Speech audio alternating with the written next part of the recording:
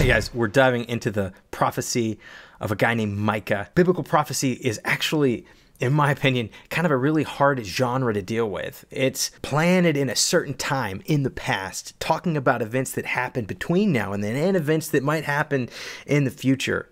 So there's a lot of context that we have to wade through, and we don't want to miss the message that the reason the prophet is speaking is something to address at that time and place, and he's looking for a response to turn people back to God, restore their covenant faithfulness, and for them to be refreshed in this beautiful corrective vision of God's love amid their own brokenness and failure. This is just a prelude, a look at the first verse of Micah, and it answers a lot of questions who, when, where, and what. So let's drop a beat and dive in the word of the Lord that came to Micah of Moresheth. Who is this guy? Micah has related no account of his call to be a prophet, only experiences of carrying out his awesome work. Thank you, C. Hassell Bullock. Some of these books, we've got kind of some biographical information. Let's continue his work here. Amos satisfies our curiosity by telling us what his occupation was. Hosea relates an intriguing story about his life that includes his prophetic call. But Micah feeds neither our curiosity nor anesthetizes it with an emotional drama.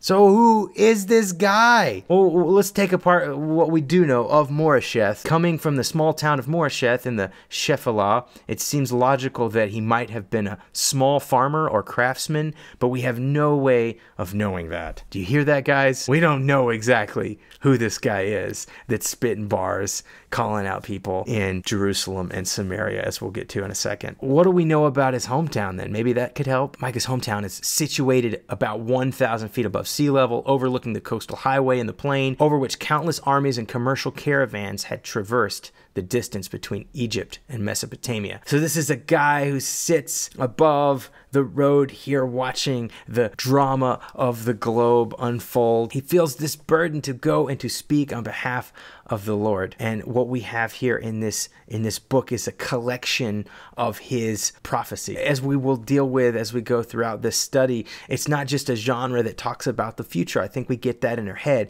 It's a genre that actually deals with a historical relationship between God and the people. And he is calling this people, his people, back into covenant faithfulness. What he sees from his vantage point is really disconcerting, a really challenging diagnosis of the way things are among the people of God. But when is this happening? This is a key question because this helps us understand the, the cultural context, the political uh, and, and, and geo, geopolitical issues that are, they're wrestling with. Were the people of Israel in a, in a really robust and healthy place with God as they have been in periods in history, or were they in a state of spiritual decay? Well, we get this in verse 1 during the reigns of Jotham, Ahaz, and Hezekiah, kings of Judah. One of the best things you can do when you're entering a prophet, if they give you the, the list of kings that their their tenure uh, was under. We can dive into the the books of the Kings and the Chronicles to kind of take a look at, at historically what the spiritual temperature of Israel was. So if you look at this timeline, let's look a little closer. Pulled this from a website called Live Holy, and he's overlapping. Micah is with a couple of prophets that you're familiar with. Jonah and Amos came prior to Micah, but Micah is prophesying contemporaneously with Isaiah and with Hosea. One of the the fun things to do is to take a, a block of the prophets that are all prophesying around the same time period under the same kings and take a look at their incisive view about what's happening in the state of Israel. So if you want to poke around further there, take a look at other prophets during the same time period and we can get a kind of a comprehensive layered approach to understanding what were the issues in this day that Micah comes to address and how does he add to the harmony of the other prophets and their diagnosis of Israel's spiritual state. To kind of ground us with some like historical context, we, we look at Chisholm, his work here, Jerusalem and the Davidic dynasty would undergo humiliation in the immediate future and the Lord would take away the people's sources of false security. So we're at a, a time where we're dealing with this false sense of security that Israel has, even though it's covenantally unfaithful, it still believes that God's going to keep them from humiliation. But what we find as we press fast forward on, on the future of Israel is that God actually uses humiliation for their redemption. Message. God actually uses humiliation for their redemption. Let's not get too far ahead of ourselves. And where, where is this dude? We talked about his hometown, but where is he focused? What is his prophecy addressing? Micah is considered a southern kingdom prophet because he's predominantly speaking out against the southern kingdom uh, with the, the capital there in Jerusalem. But let's get this from verse 1 the vision he saw concerning Samaria and Jerusalem. So, if you don't know anything about Samaria, Samaria is actually the capital of the northern kingdom. Thanks for the map, Wikipedia. If you remember, um, the, the kingdom of Israel was united under Saul, and then David, kind of a high watermark, and then uh, under Solomon, and then after only three kings of a united monarchy, uh, the kingdom split into two kingdoms the northern uh, 10 tribes and the southern two, Judah and Benjamin, shorthand named the Kingdom of Judah, also known as the southern kingdom, um, centered in the capital city of Jerusalem, and the north that was immediately plunged into idolatry at the bequest of Jeroboam I, making two calf idols independent of the temple worship in the south. So we wrestled with that northern kingdom's issues and its history as we covered Jonah. You can find Jonah Jonah SMH on our playlist as we covered Amos. And right next to it is Woke Amos. We explored those a couple years ago. So if you want to check out that period of time and the spiritual issues there, but just past those prophets' times, as Samaria is about to fall, as the false sense of security starts to shake off, we find our prophet Micah addressing what he saw concerning Samaria, but aiming his voice at Jerusalem, at the southern kingdom. A cautionary tale is unfolding up north. Will the people hear? What is it that is his message? Okay, maybe we got our, our ground a little bit on what's going on, the who, the when, the where, but what? What is this about? What what is Micah's beef? Why is he spitting bars?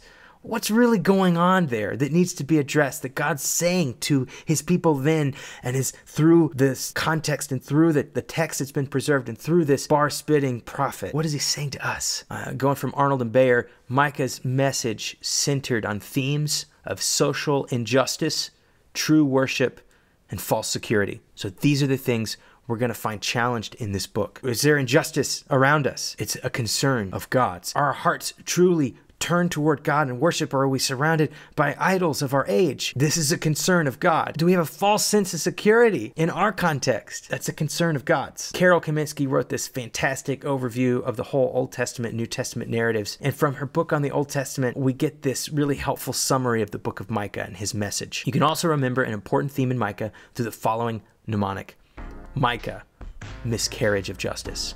So that's what we're going to be focused on and all of these contexts we're going to explore we're going to flesh this out we're going to get a, a, good picture a good diagnosis a good read of what's going on. Because the more we like engage the world the bible the better we are at engaging our own world. I believe that. So as we acquaint ourselves with the particulars of micah's day and the challenges and we understand the nuances of his message at that time we start to hear his message spill into our own world and are able to see ourselves and God more clearly. And this is the concern of God. Miscarriage of justice does not go unnoticed by God. If it happens, nay, when it happens, God sees it and he comes to call it out. And he comes to inspire his people to be about the work of justice, of righteousness, of shalom, of making the world right through him. As God, through the prophetic voice, is making things right, we need to understand that things are not right where we are, in our context, in our day. So, what are the injustices of our day, of our place? Would you go with God with that question? Journal, write, discuss. And may we tune our hearts to the world around us as we attempt to let the words of Micah speak to our situations, and as we seek to hear God and discern what is right, what is good, and how are we to walk with God today. Let's read Micah with open eyes and open hearts, and let's go to God to hear Him together. Thank you for joining us in Spitting Bars as we attempt to engage the prophetic voice, as we attempt to understand how and why God has His church about the business of justice. Godspeed, and we'll see you next time.